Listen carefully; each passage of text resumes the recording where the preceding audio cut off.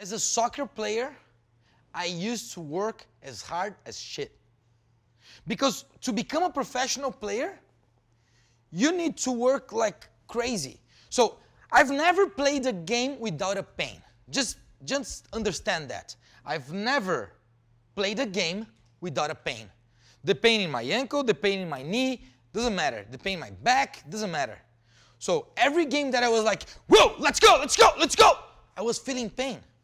And we feel pain, right? I'm feeling some pain right now in my life.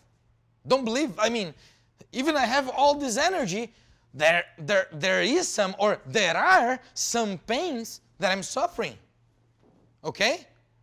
It's not like, oh, I'm the perfect guy, I live the perfect life. No, there's no perfect life, there's no perfect guy. Okay? I live with my pains, but I deal with it. And I think the difference with my passion, the difference with the love that I have for life, the difference between people that don't have the same passion for life, don't have the same love for life, is that the, their pains is something that bothers him or her or them more than bothers me. Right?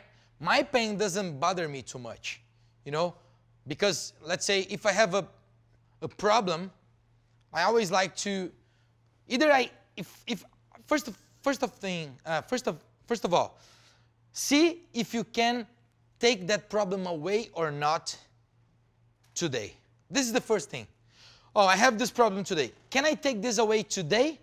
No, I can't. So forget. Boom. Don't remember more. Let's live in my day, okay? Can I take it in a week? Yes, I can. Okay, I'm going to put my effort to take that problem away in a week. Okay? But some things just you can't. So pretty much when the way I deal with my pains and with my problems, I think makes me to live a better life or not.